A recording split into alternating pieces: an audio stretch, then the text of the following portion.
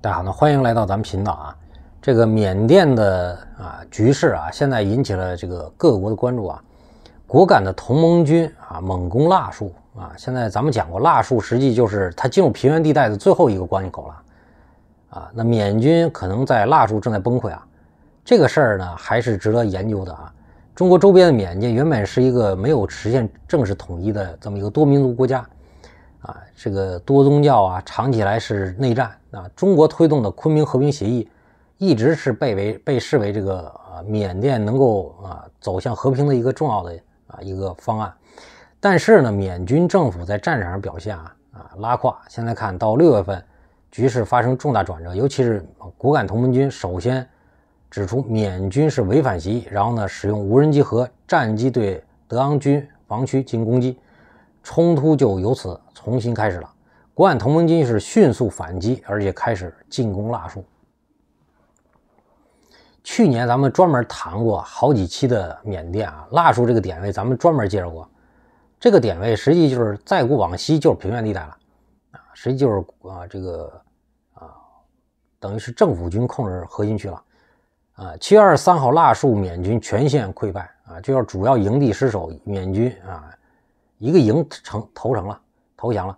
果敢同盟军似乎是要即将结束解放腊戍了。两天以后呢，果敢同盟军已经是把旗插到了腊戍东北军区司令部了。就可以看整个腊戍县啊，缅军司令部已经被炸成一片废墟了。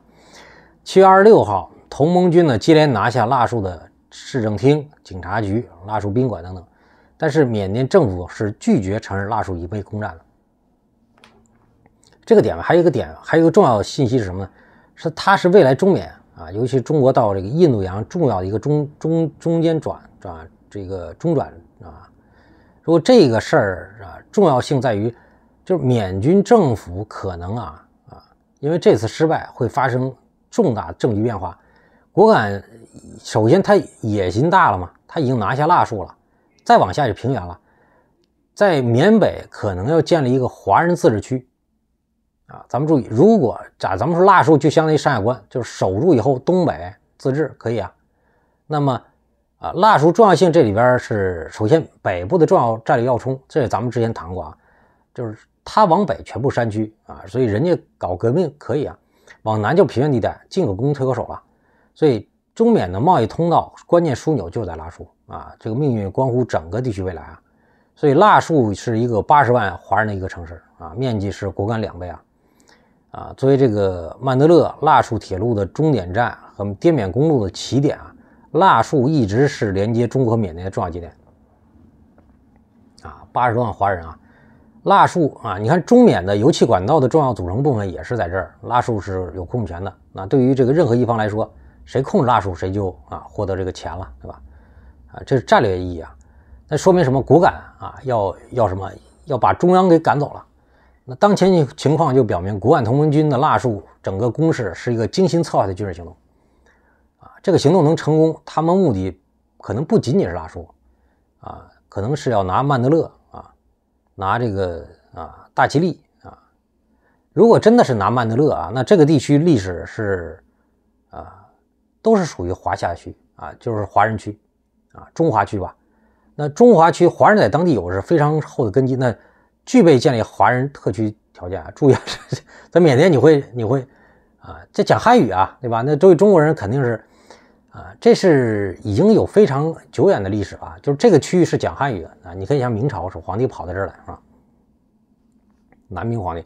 那这个背景就是缅甸媒体近日密集报道腊戍现在战事非常悲观的一个进展啊，包括讲这个缅军辎重营第四十一五五二。五零七九幺二六十八啊，这一营全线失守啊，非常悲观。而且缅甸东北军区参谋长啊，丹金温上校啊，腊戍县西南啊一个四十一营阵地阵亡了，是吧？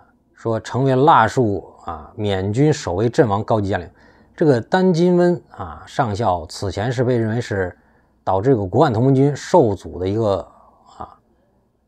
关键人物，而缅军所有的战时指挥权都归于啊刚到的一个叫啊苏莱是吧？叫俊来还是苏来啊？准将啊，情况就有可能只会进一步恶化。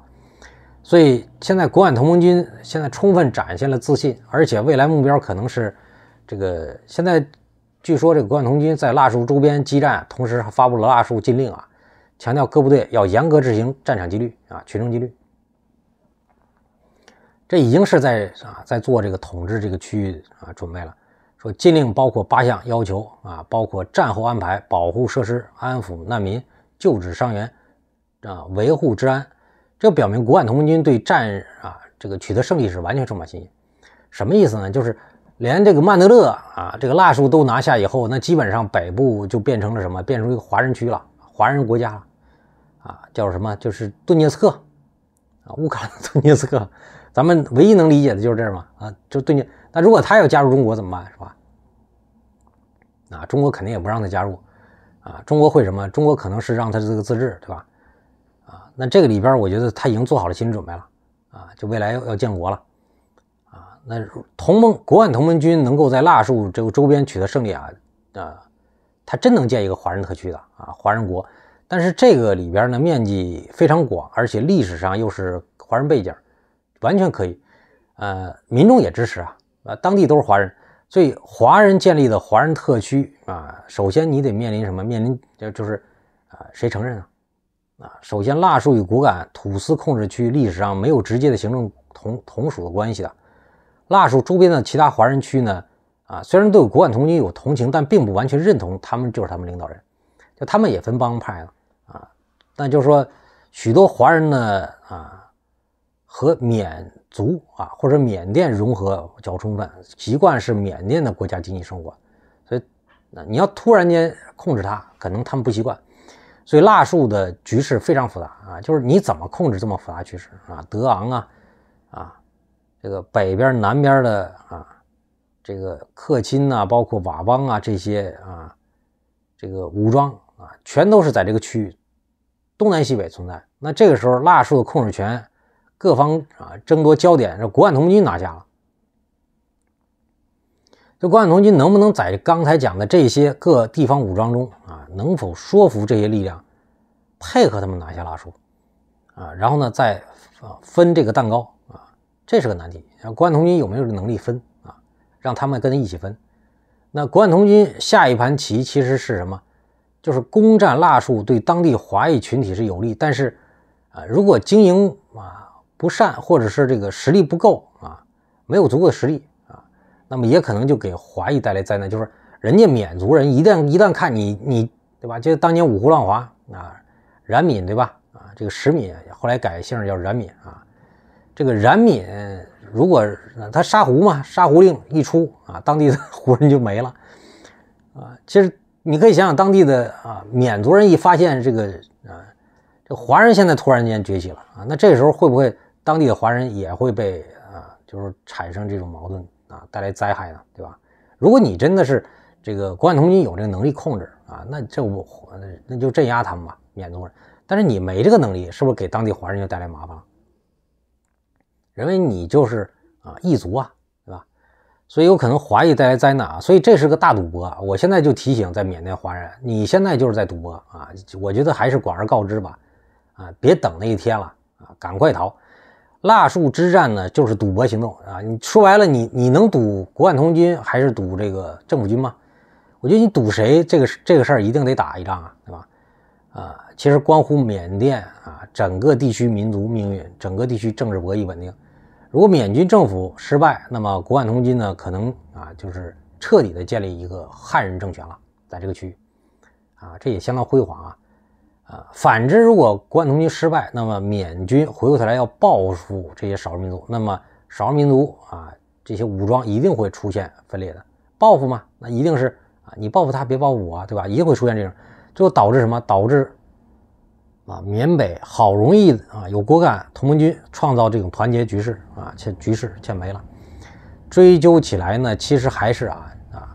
还是要保证你的硬实力啊！这是考验什么？考验骨感啊！这批汉人啊，在这个啊缅甸啊，我觉得这就是这生死一战啊！腊戍啊，包括曼德勒这生死一战啊！